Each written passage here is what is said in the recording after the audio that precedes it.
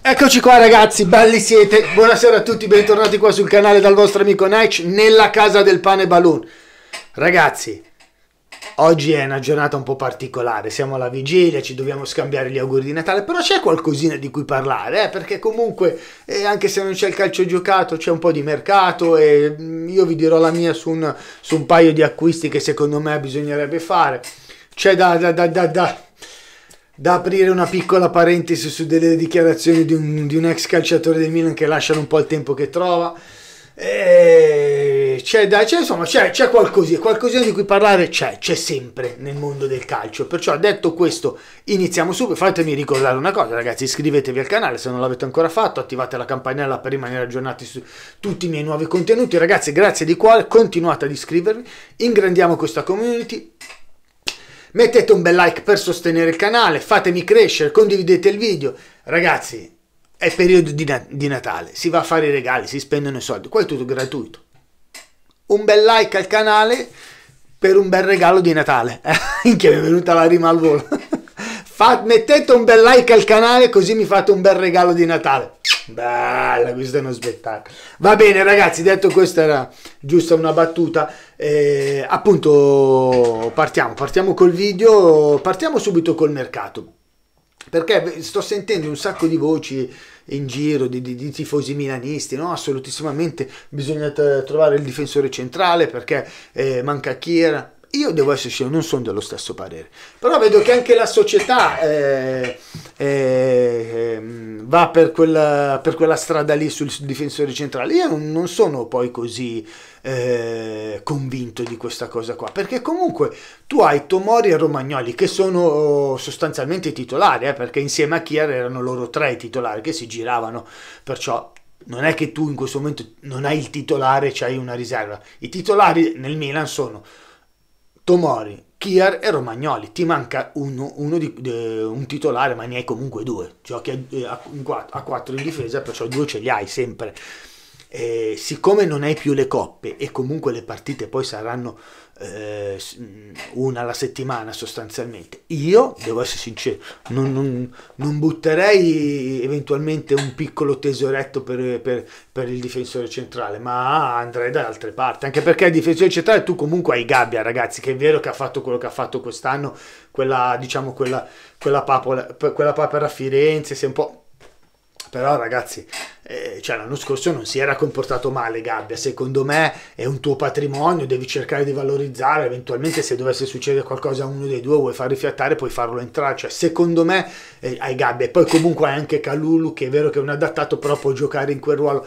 Io devo essere sincero perché poi dopo dice eh, vabbè ma non puoi giocare con un adattato con uno che non sì però sostanzialmente ragazzi eh, tu potevi anche aver Chiar, eh, essere bello tranquillo e rilassato e poi dopo finisce il calciomercato e ti sei ne infortunano due e sei lo stesso punto a capo, non cambia nulla ragazzi, non cambia nulla, io andrei più da altre parti, più da altre parti perché il centrocampo a me è quello che mi preoccupa ragazzi, perché eh, innanzitutto ancora non ci ho capito un cazzo, si giocherà, non si giocherà sta Coppa d'Africa, non si è capito, perché hanno voluto eh, far credere che forse, eh, però molto probabilmente si giocherà. Perciò detto questo, questi partono ben a serie che si, vanno in Coppa d'Africa e tu lì che sei veramente messo male, perché lì hai eh, Tonali e Bakayoko. E io Bakayoko non è che lo butto via, perché è vero che ha fatto male, però io mi ricordo un Bakayoko due anni fa e anche eh, per un certo periodo l'anno scorso a Napoli eh, che aveva fatto veramente bene perciò non è che Bakayoko può essere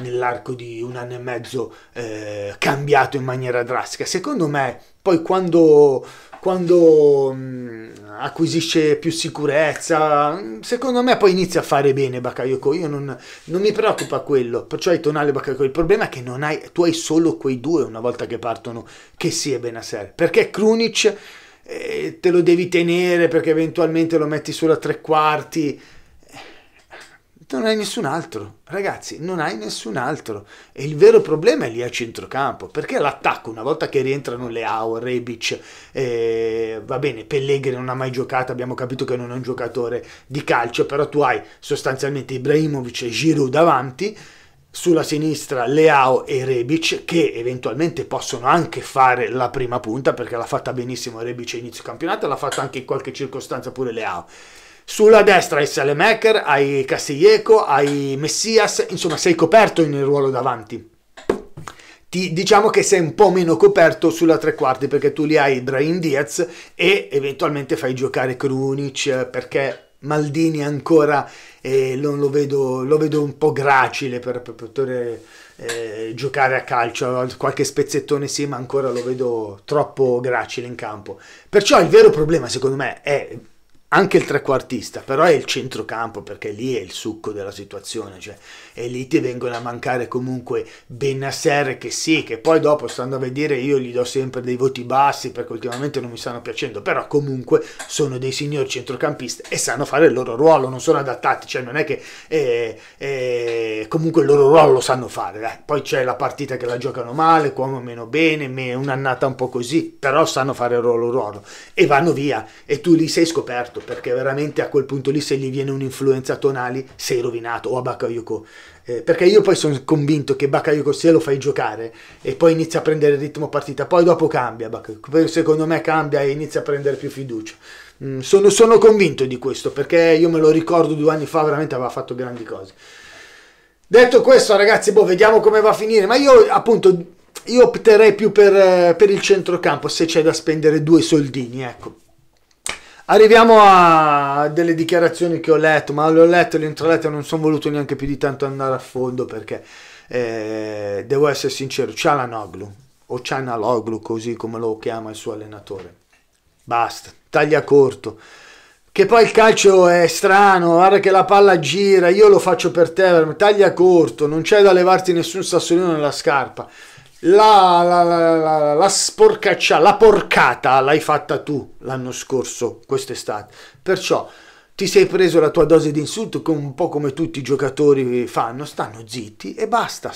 Stai giocando bene, son, noi siamo contenti per te, va benissimo, ma non continuare adesso anche nell'intervista e l'Inter è nettamente più forte. Non si dicono queste cose, la rosa dell'Inter è più forte del mio, non si dicono, non si dicono, cioè, fidati di me, non si dicono. Eh, loro mi hanno voluto a tutti i costi, mi hanno accolto, non si dicono, queste cose qua non si dicono, perché se no così vuol dire che tu prendi per il culo i, le persone.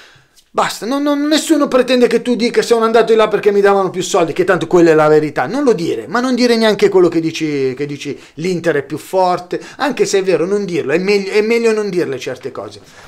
È meglio non dirle secondo me, impara un pochettino a stare al mondo. Tu sei un, privilegi- un privilegiato, eh, ti becchi la tua dose di insulti, hai reagito, hai fatto gol al derby, hai fatto le orecchie, nessuno ha detto niente, giusto così, perché non è che uno deve solo subire, hai reagito in maniera composta, ti sei messo lì con le orecchie, c'è chi dice che non dovevi farlo, io per me eh, l'hai fatto, hai fatto anche bene, però basta, però basta perché così ti tiri la zappa sui piedi da solo, secondo me, secondo me, e lo sai benissimo.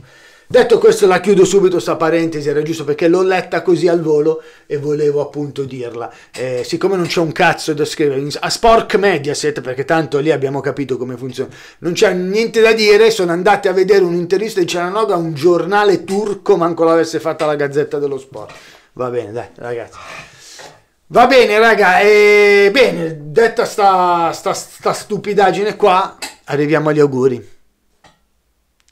Ragazzi, io vi auguro un buon Natale a voi, a tutte le vostre famiglie, vi ringrazio di cuore per questa eh, nuova mini famiglia che abbiamo, che abbiamo, come si dice, instaurato tra me e voi, è bellissima, perciò vi auguro un buon Natale di cuore a voi, a tutte le vostre famiglie e ci rivediamo eh, domani, dai, domani, domani che è Natale ci, ci, rifacciamo gli auguri, o magari a Santo Stefano, vediamo un po', non voglio rompervi i coglioni per il natalizio. Bene ragazzi, allora vi auguro, ripeto, vi auguro un buon Natale, spero che vi sia piaciuto questo mio video, vi chiedo un bel like se vi è piaciuto, condividetelo e come dico sempre io ragazzi, ciao!